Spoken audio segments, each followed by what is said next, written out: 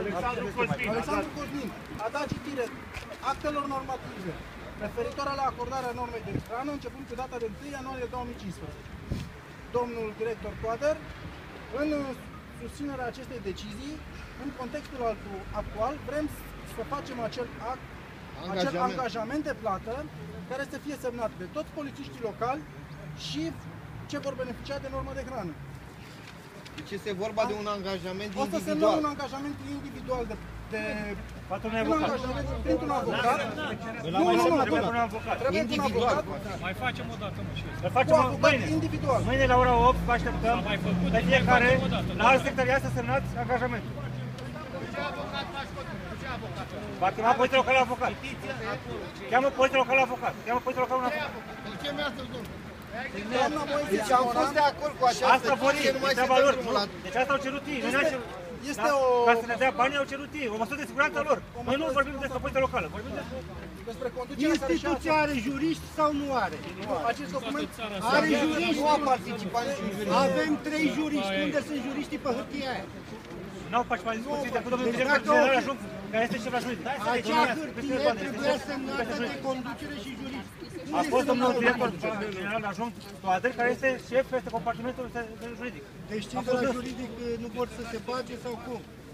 Deci este semnat și de domnul director toate, este semnat și de domnul Raul Petrescu și de Hai să citim asta, după aceea discutăm. Da? Da, haideți să citim așa verbal. După aceea citim- citim și legea. Și Pentru dumneavoastră legalitate trebuia semnătura juridicului. Domnul Nu director este o toate, legalitate, este conform legii dialogului social. În legea dialogului social să scrie și am citat cu toți acolo, cei care au fost de față poate să confirme că să încheie un proces verbal de conflict de muncă, să încheie între reprezentanții delegații salariaților și conducerea instituției. Așa scrie în legea dialogului social. Nu trebuie să fie juristul de față când se încheie procesul verbal. Haideți să nu vorbim fără să nu citim legea. deci doamna Moise Simona, de la biroul, de la biroul financiar contabil, va opera în programul de salarii, dar din punct de vedere tehnic, nu va, uh, va dura câteva zile. 48 de ore, maxim. Maxim 48 de ore. Hai că scrie, scrie mai târziu. Da. Până vor putea face plățile. Mă voi strădui să rezolv în cel puțin Deci vor 48 de 1000 ore. și una de hârtii. La alte orașe s-au întâmplat. Aștept să se termine și să se salvează sumele, deoarece nu știu ce să Dar nu e bine. Nu e bine. O să modific. De asemenea, Cel trebuie mult. să- trebuie să mă repet.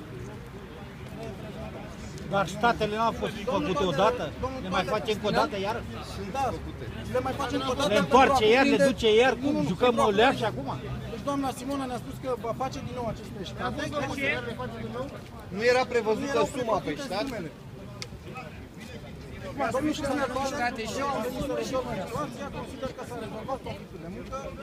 Dacă oamenii Deci este nu o se problemă întorc la tehnică. muncă S-ar după ce am putea să stabilit- în jumătate de oră, s-ar putea în două, trei ore să se rezolve, dar există posibilitatea amânării plății normei cu o zi. Deci salariul intră pe 10 și e posibil norma să fie pe 11.